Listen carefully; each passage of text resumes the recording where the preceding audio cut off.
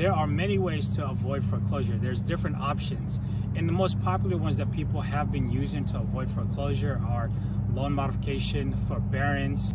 Um, but there is another one, but again, you might want to talk to your uh, attorney about this, but people will file bankruptcy.